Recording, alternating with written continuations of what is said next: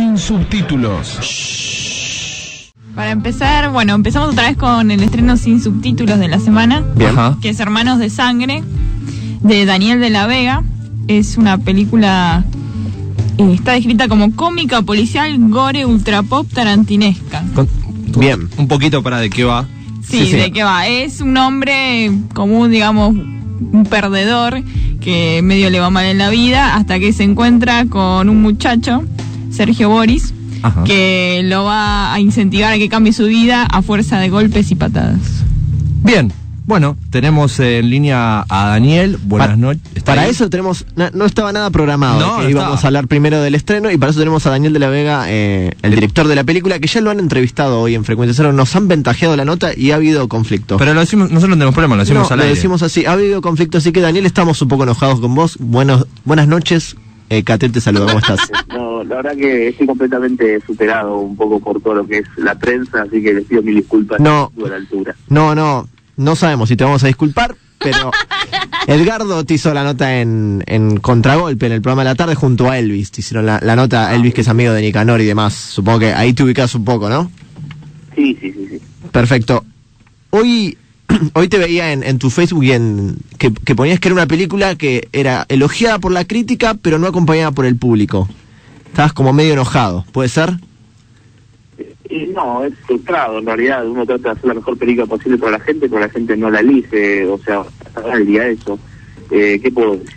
Eh, nada, es frustrante. ¿Qué No, no. enojarme? ¿De No. qué me sirve? No, no, total, totalmente, no, no te puedes elegir. Vos eh, elegiste esta película como también como una película que, que te veías identificado. Es la historia de una persona que se va vengando o que se van vengando porque lo tratan mal. Te veías identificado y te, te sentías como parte de, de él, del personaje también. aproxima las historias como, como puede, de acuerdo a, a- a sus historias de vida, y en este caso una historia muy atractiva, un guion de Nicanor López, Germán Val y Martín Brusón, que me acercaron allá por el 2009. La verdad que me, me encantó la propuesta, porque me pareció un guion muy ingenioso, eh, y creo que todos tenemos una parte user que tratamos de superar permanentemente, y historia un poco gira esa, perspectiva que cada uno tiene de uno mismo, ¿no? Eh, todos hemos sido rechazados, todos hemos tenido esos problemas, todos hemos tenido sueños inalcanzables, y de pronto la historia proponía el, el cómo una persona que había sido un luso se convertía en algo mucho mejor al final del relato. Eh, esa historia me pareció muy atractiva, especialmente porque quien lo ayuda a convertirse en mejor es un psicópata, un psicópata que está dispuesto a todo para que sea feliz y amigo. Eh, así que durante ese proceso es una especie de lámpara de Aladino que donde sus deseos se cumplen, se hacen realidad y a medida que eso va ocurriendo va, va, va ocurriendo un- digamos una cantidad de muertes que hacen que la historia sea muy divertida. O sea, como que la película plantea como una justicia por mano propia, ¿no? O sea, contra los que me jodieron. Sí, ideológicamente es absolutamente incorrecta, eh, es muy difícil defenderse afuera porque tuviera un gran sentido de humor, pero que la verdad que la película sería indefinible. En ese sentido me encanta porque funciona y creo que no te lo planteas demasiado. Es prácticamente un entretenimiento para el gran público, fue pensado para, para que la gente la disfrute, que se relaje y la pase muy bien, viendo atrocidades en pantalla que son exactamente, digo, básicamente muy, muy entretenidas. A ver, a ver si lo entiendo. En- En vez de que al chico lo, al personaje lo maltratan en el trabajo y lo maltratan en todos los ambientes de su vida, en vez de decirle al jefe, mira, este me está haciendo acoso laboral, Va y lo va mata. y ¿qué le hace? ¿Qué le hace? O le hace otro. Y digamos, lo que tiene interesante la película que es ingenioso ver cómo cada cada una de las personajes que acomete contra el protagonista son eliminados de la de su de su, de su horizonte. Directamente los mata como un- él, digamos, él no tiene la capacidad ni tiene el carácter para resolver sus problemas, por eso con el personaje de su mejor amigo, este psicópata entra a cuadro para resolver cada uno de sus problemas. Y cómo lo es bastante ingenioso. Eh, cada cada uno de los personajes que de alguna manera se oponen al protagonista, que o sea, adolece de bullying, o sea, hay un bullying, Claro. este, un bullying ahora que está muy de moda el término, Exacto. este, y el personaje del psicópata se encarga de resolver sus problemas de forma bastante astuta, o sea, me parece que adelantarlo sería un error, yo creo que lo que tiene de bueno la película es para verla, este, rueda para verla porque la pasas bien, porque dura menos de 90 minutos, porque es tiene pulso, tiene ritmo y está muy lejos del cine contemplativo argentino que suele proponer nuestra filmografía. Nuestra filmografía. Y lo, lo que te quería, lo que estuvimos viendo es que vos hiciste ya dos películas en inglés, ¿puede ser? ¿Es esto cierto?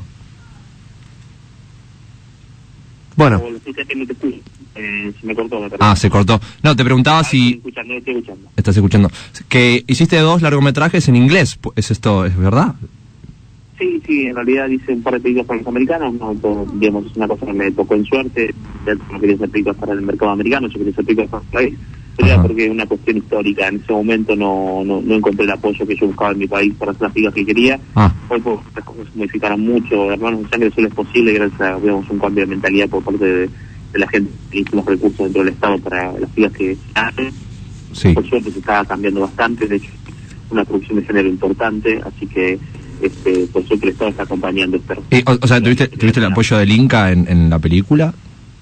Sí, sí, sí, fue producido con presupuesto de liga.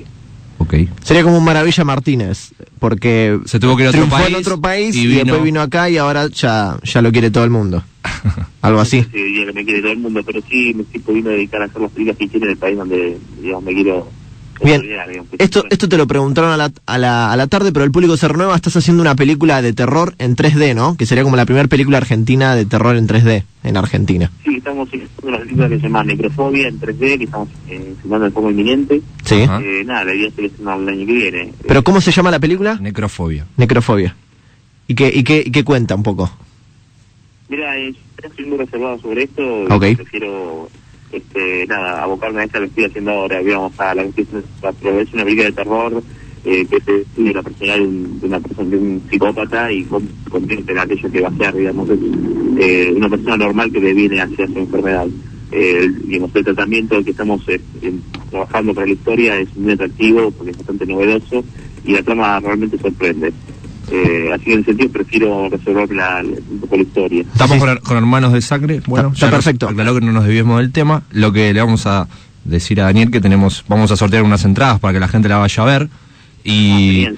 sí, y tenemos, iba a decir las salas, pero la verdad que son un montón, ¿eh? La verdad que nada, está, no sé cómo. Sí, te- la verdad que hicimos un lanzamiento bastante amplio. Claro. Estamos en el show, que estamos en Village, estamos en Hoyt, estamos en varias salas. sí. Están en, zo- en zona oeste, en La Plata, en zona sur Gran Buenos Aires también. Sí, la verdad que veo que son como 20 salas, así que Así que la gente no se puede quejar y decir que no. Yo hay, la vi. hay variedad, digamos, tienen a dónde ir más o menos, no es que están en cinco salas que tienen que tomarte 14 bondis para No, no, llegar. no, hay, hay opciones para verla. Este, ojalá la gente la acompañara. Yo eh, siempre digo que la verdad que la película fue creada como un gran entretenimiento. Ajá. Sí. eh, que para mí la palabra entretenimiento es una palabra enorme, que siempre aposté a hacer algo que a la gente que la gente lo disfrute. Sí. Eh, la verdad que digamos, no, no, no, tenía otra pretensión que hacer una película entretenida. Y creo que lo logramos porque la, digamos, la respuesta de la gente es positiva. Bueno, y le decimos a la gente que estaría bueno que vayan este primer fin de semana, siempre lo recordamos, las películas nacionales necesitan que el primer fin, de semana, digamos, vaya un- una cantidad de público por ahí más interesante que otros momentos para que la película se mantenga en cartel en tantas salas o no la den de baja, digamos. Interesante no porque suena discriminatorio, más numeroso sería. Sí, números. no, no, está bien, eh, es, igual- interesante decir número. Está muy bien. Cuantitativamente. Bueno, lo vamos a despedir a Daniel. Muchas gracias, Daniel, por, haberte contacto. comunicado dos veces con frecuencia cero. En y, el eh, día. Esperemos no haberte, no haberte Molestado. desgastado ni cansado. Te mandamos un saludo. No, estamos muy felices de que me apoyen de alguna manera. Estamos acá para que la película existe y que la gente puede elegir verla o no verla, pero que pueda elegir. Perfecto. Muchísimas gracias. Hasta luego. sin subtítulos, en tu idioma.